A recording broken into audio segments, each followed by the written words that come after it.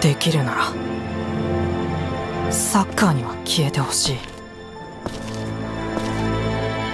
この世界から。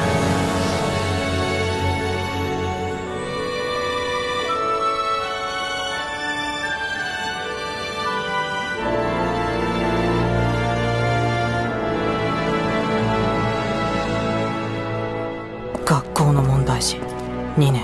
桜崎ジョージサッカーがどうしたって。俺には関係ね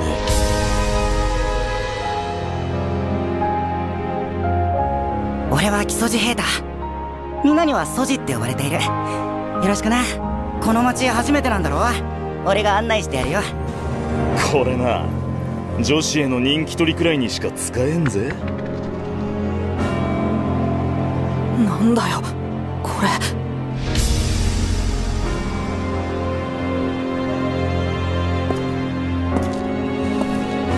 ん？お前誰だっけ？みんなの校庭を野球部が独占しているのってなんか違うと思うんです。いるんだこの学校にも。空気読めないやつ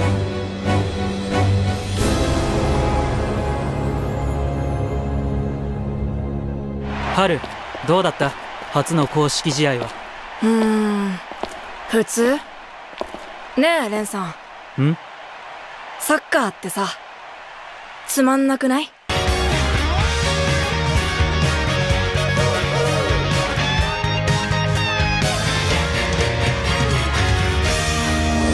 稲妻イレブン。英雄たちのビクトリーロード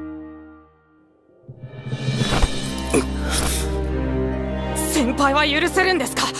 こんなことサッカーが大好きで一日も練習を休まなかった。そんなサッカー少年だった桜崎先輩は許せるんですか？